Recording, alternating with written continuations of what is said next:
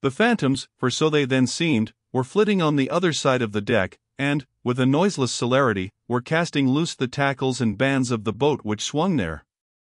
This boat had always been deemed one of the spare boats, though technically called the captain's, on account of its hanging from the starboard quarter. The figure that now stood by its bows was tall and swart, with one white tooth evilly protruding from its steel like lips. A rumpled Chinese jacket of black cotton funereally invested him, with wide black trousers of the same dark stuff. But strangely crowning this ebonness was a glistening white plaited turban, the living hair braided and coiled round and round upon his head. Less swart in aspect, the companions of this figure were of that vivid, tiger yellow complexion peculiar to some of the aboriginal natives of the Manillas, a race notorious for a certain diabolism of subtlety, and by some honest white mariners supposed to be the paid spies and secret confidential agents on the water of the devil, their lord, whose counting room they supposed to be elsewhere.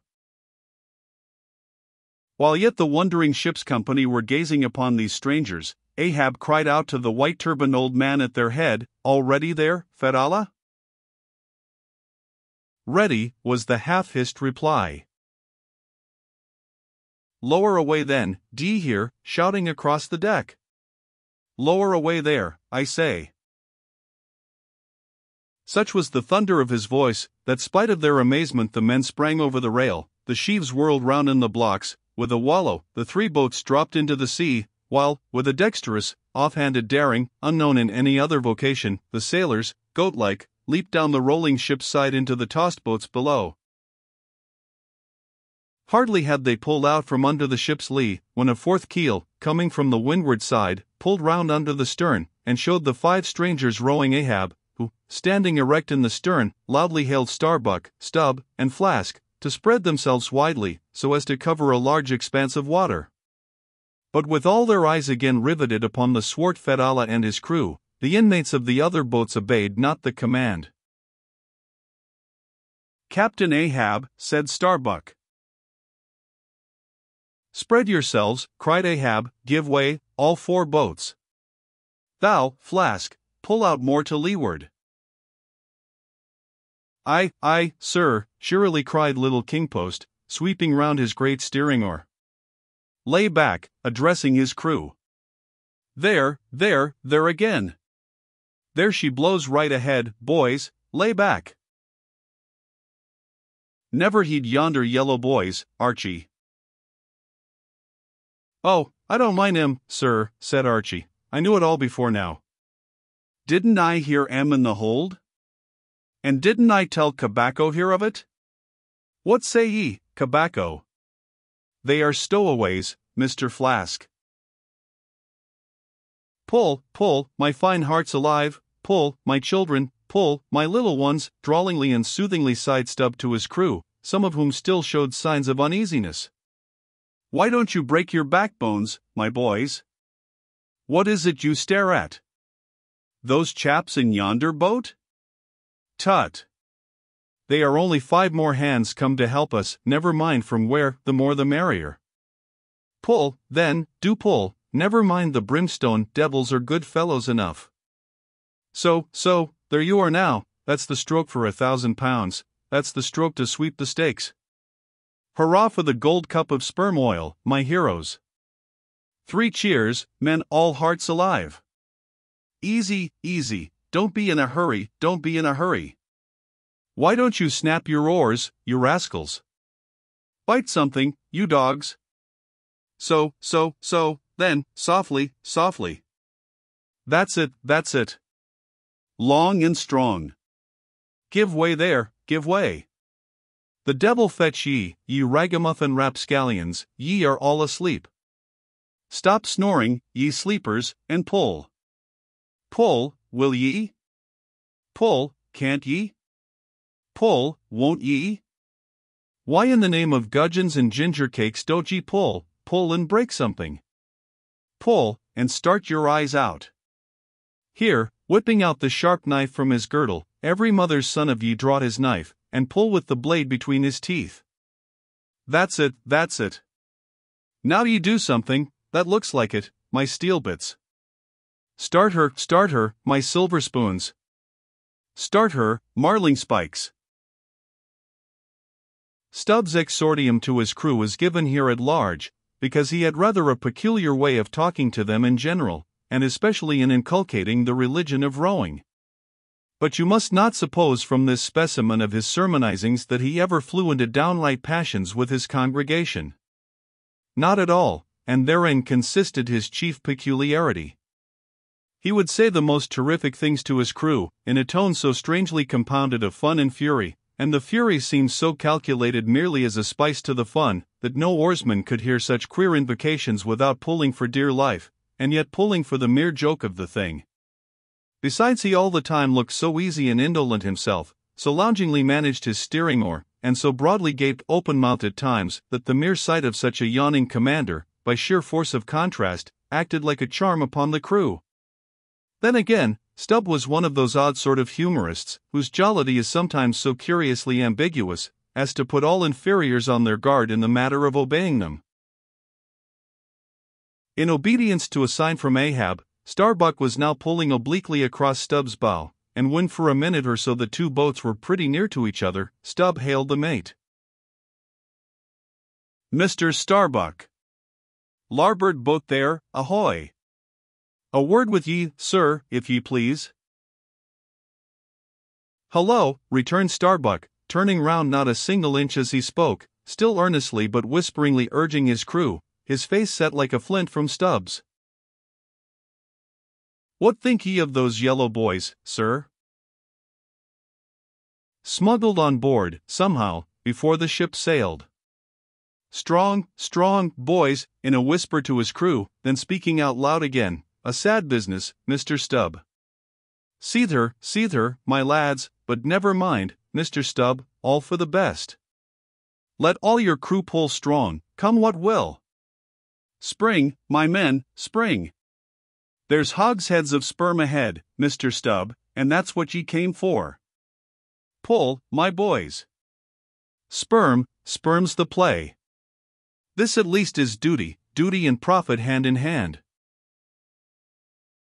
I, I, I thought as much, soliloquized Stubb, when the boats diverged. As soon as I clapped eye on M, I thought so. I, and that's what he went into the after hold for, so often, as Doughboy long suspected. They were hidden down there. The white whales at the bottom of it. Well, well, so be it. Can't be helped. All right. Give way, men. It ain't the white whale today. Give way. Now, the advent of these outlandish strangers at such a critical instant as the lowering of the boats from the deck, this had not unreasonably awakened a sort of superstitious amazement in some of the ship's company, but Archy's fancied discovery having some time previous got abroad among them, though indeed not credited then, this had in some small measure prepared them for the event. It took off the extreme edge of their wonder, and so what with all this and Stubb's confident way of accounting for their appearance, they were for the time freed from superstitious surmisings, though the affair still left abundant room for all manner of wild conjectures as to Dark Ahab's precise agency in the matter from the beginning. For me, I silently recalled the mysterious shadows I had seen creeping on board the Pequod during the dim Nantucket dawn, as well as the enigmatical hintings of the unaccountable Elijah. Meantime, Ahab, out of hearing of his officers, having sighted the furthest to windward, was still ranging ahead of the other boats, a circumstance bespeaking how potent a crew was pulling him.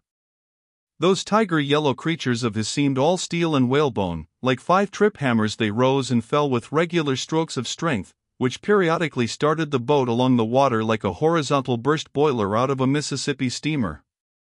As for Fedallah, who was seen pulling the harpooner oar, he had thrown aside his black jacket and displayed his naked chest with the whole part of his body above the gunwale, clearly cut against the alternating depressions of the watery horizon, while at the other end of the boat Ahab, with one arm, like a fencer's, thrown half backward into the air, as if to counterbalance any tendency to trip, Ahab was seen steadily managing his steering whereas in a thousand boat lowerings ere the white whale had torn him.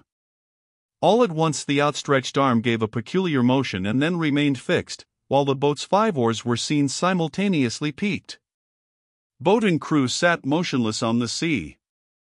Instantly, the three spread boats in the rear paused on their way. The whales had irregularly settled bodily down into the blue, thus giving no distantly discernible token of the movement, though from his closer vicinity Ahab had observed it. Every man look out along his oars, cried Starbuck. Thou, Queequeg, stand up. Nimbly springing up on the triangular raised box in the bow, the savage stood erect there, and with intensely eager eyes gazed off towards the spot where the chase had last been descried. Likewise upon the extreme stern of the boat where it was also triangularly platformed level with the gunwale, Starbuck himself was seen coolly and adroitly balancing himself to the jerking tossings of his chip of a craft, and silently eyeing the vast blue eye of the sea. Not very far distant Flask's boat was also lying breathlessly still, its commander recklessly standing upon the top of the loggerhead, a stout sort of post rooted in the keel, and rising some two feet above the level of the stern platform. It is used for catching turns with the whale line. Its top is not more spacious than the palm of a man's hand, and standing upon such a base as that, Flask seemed perched at the masthead of some ship which had sunk to all but her trucks. But Little Kingpost was small and short, and at the same time Little Kingpost was full of a large and tall ambition, so that this loggerhead standpoint of his did by no means satisfy Kingpost. I can't see three seas off, tip us up and or there, and let me on to that. Upon this, as Daggoo, with either hand upon the gunwale to steady his way, swiftly slid aft, and then erecting himself volunteered his lofty shoulders for a pedestal. Good a masthead as any, sir. Will you mount? That I will, and thank ye very much, my fine fellow, only I wish you fifty feet taller whereupon planting his feet firmly against two opposite planks of the boat, the gigantic Negro, stooping a little, presented his flat palm to Flask's foot, and then putting Flask's hand on his hearse plumed head and bidding him spring as he himself should toss, with one dexterous fling landed the little man high and dry on his shoulders. And here was Flask now standing, Daggoo with one lifted arm furnishing him with a breastband to lean against and steady himself by. At any time, it is a strange sight to the tyro to see with what wondrous habitude of unconscious skill the whaleman will maintain an erect posture in his boat, even when pitched about by the most riotously perverse and cross running seas. Still more strange to see him giddily perched upon the loggerhead itself, under such circumstances. But the sight of little Flask mounted upon gigantic Daggoo was yet more curious, for sustaining himself with a cool, indifferent, easy, unthought of, barbaric majesty, the noble Negro to every roll of the sea harmoniously rolled his fine form. On his broad back, flaxen haired Flask seemed a snowflake. The bearer looked nobler than the rider. Though truly vivacious, tumultuous, ostentatious little Flask would now and then stamp with impatience, but not one added heave did he thereby give to the Negro's lordly chest. So have I seen passion and vanity stamping the living magnanimous earth, but the earth did not alter her tides and her seasons for that. Meanwhile, Stubb, the third mate, betrayed no such far gazing solicitudes. The whales might have made one of their regular soundings, not a temporary dive from mere fright, and if that were the case, Stubb, as is wont in such cases, it seems, was resolved to solace the languishing interval with his pipe. He withdrew it from his hat band, where he always wore it aslant like a feather. He loaded it and rammed home the loading with his thumb end, but hardly had he ignited his match across the rough sandpaper of his hand when Tashtego, his harpooner, whose eyes had been setting to windward like two fixed stars, suddenly dropped like light from his erect attitude to his seat, crying out in a quick frenzy of hurry, Down, down all, and give way, there they are. To a landsman, no whale, nor any sign of a herring, would have been visible at that moment, nothing but a troubled bit of greenish white water, and thin scattered puffs of vapor hovering over it, and suffusingly blowing off to leeward, like the confused scud from white rolling billows. The air around suddenly vibrated and tingled, as it were, like the air over intensely heated plates of iron. Beneath this atmospheric waving and curling, and partially beneath a thin layer of water, also, the whales were swimming. Seen in advance of all the other indications, the puffs of vapor they spouted, seemed their forerunning couriers and detached flying outriders. All four boats were now in keen pursuit of that one spot of troubled water and air. But it bade fair to outstrip them, it flew on and on, as a mass of interblending bubbles borne down a rapid stream from the hills. Pull, pull, my good boys, said Starbuck, in the lowest possible but intensest concentrated whisper to his men, while the sharp fixed glance from his eyes darted straight ahead of the bow, almost seemed as two visible needles in two unerring binnacle compasses. He did not say much to his crew, though, nor did his crew say anything to him. Only the silence of the boat was at intervals startlingly pierced by one of his peculiar whispers, now harsh with command, now soft with entreaty. How different the loud little king post! Sing out and say something, my hearties. Roar and pull, my thunderbolts. Beach me, beach me on their black backs, boys, only do that for me, and I'll sign over to you my Martha's Vineyard plantation, boys, including wife and children, boys. Lay me on, lay me on. Oh Lord, Lord! But I shall go stark, staring mad. See, See that white water! And so shouting, he pulled his hat from his head, and stamped up and down on it, then picking it up, flirted it far off upon the sea, and finally fell to rearing and plunging in the boat's stern like a crazed colt from the prairie. Look at that chap now, philosophically drawled Stubb, who, with his unlighted short pipe, mechanically retained between his teeth, at a short distance, followed after, he's got fits, that Flask has. Fits? Yes, give him fits, that's the very word pitch fits into M. Merrily, merrily, hearts alive. Pudding for supper, you know, marries the word. Pull, babes, pull, sucklings, pull, all. But what the devil are you hurrying about? Softly, softly, and steadily, my men. Only pull, and keep pulling, nothing more. Crack all your backbones, and bite your knives in two, that's all. Take it easy, why don't you take it easy, I say, and burst all your livers and lungs. But what it was that inscrutable Ahab said to that tiger yellow crew of his, these were words best omitted here, for you live under the blessed light of the evangelical land.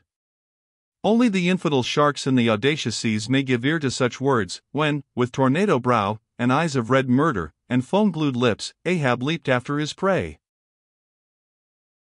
Meanwhile, all the boats tore on. The repeated specific allusions of Flask to that whale, as he called the fictitious monster which he declared to be incessantly tantalizing his boat's bow with its tail, these allusions of his were at times so vivid and lifelike that they would cause some one or two of his men to snatch a fearful look over the shoulder. But this was against all rule, for the oarsmen must put out their eyes and ram a skewer through their necks, usage pronouncing that they must have no organs but ears, and no limbs but arms, in these critical moments. It was a sight full of quick wonder and awe.